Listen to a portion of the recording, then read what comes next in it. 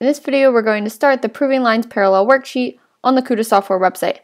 This is a free worksheet and you can find it within the Geometry section. Our directions are to find the measure of the indicated angle that make lines U and V parallel. Now when you have two parallel lines and a transversal, there are certain types of angles that have distinct measurements. Corresponding angles are congruent. Alternate interior angles are congruent, alternate exterior angles are congruent, and consecutive interior angles sum to equal 180 degrees. If you are confused on any of those four definitions, please go to the previous worksheet, Parallel Lines and Transversals, where I go over each of those, or go to my Geometry Tutorials playlist on my YouTube channel. So let's look at number one. In number one, the indicated angle is on the same side of the transversal as 130 degrees.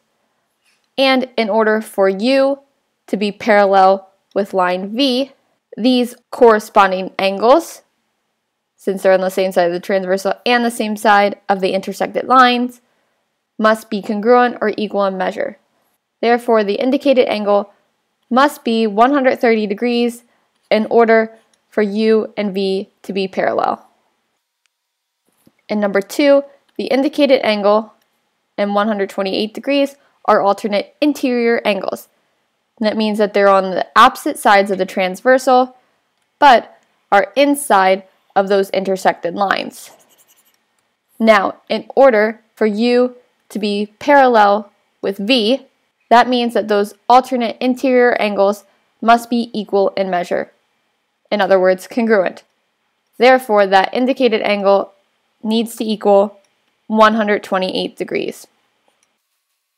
And number three, the angles we are looking at are alternate exterior angles because they are on opposite sides of the transversal and outside of the intersected lines.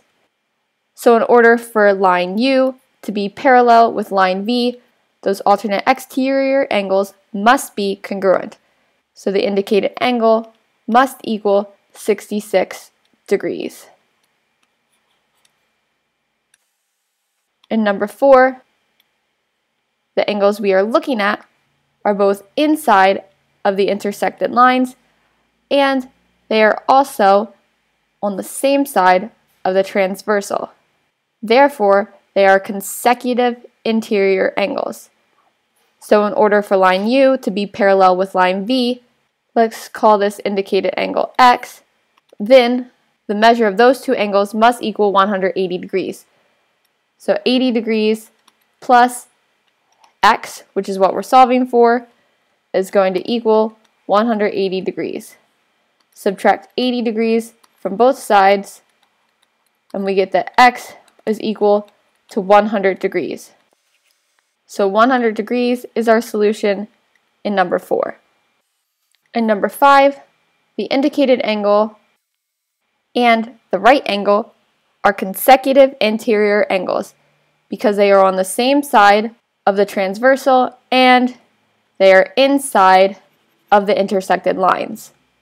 So because they are consecutive interior angles, in order for line U to be parallel with line V, they must add up to be 180 degrees.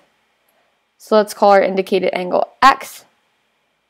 X plus this right angle, which we know is equal to 90 degrees, equals 180 degrees. All I have to do is subtract 90 degrees from both sides, and we would subtract 90 from 180. We get that x is equal to 90 degrees. So if the indicated angle equals 90 degrees, then line U is indeed parallel with line V. And number six, the angles we are looking at are on the same side of the transversal. They are also on the same side of the intersected line. They are both below those intersected lines. Therefore, in order for line U to be parallel with line V, then those angles must be congruent. Therefore, 81 degrees is the measure of the indicated angle. In number 7, our indicated angle and 53 degrees are corresponding angles. This is because they are on the same side of the transversal, they're both to the right of the transversal, and they are also on the same side of the intersected lines. They are both below. So in order for line U to be parallel with line V, those corresponding angles must be congruent. Therefore, they must have the same measure. So our indicated angle in number 7 must equal 53 degrees in order for line U to be parallel with line V.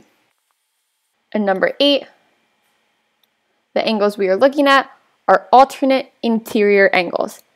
They're alternate interior because they are on opposite sides of the transversal and they are both inside of the intersected lines. So in order for U to be parallel with V, they need to be equal in measure. So the indicated angle is 58 degrees.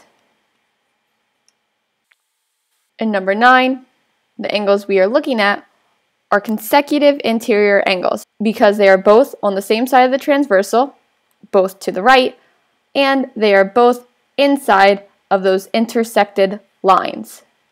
Therefore, 130 degrees plus our indicated angle, let's call this x, must equal 180 degrees in order for line U to be parallel with line V.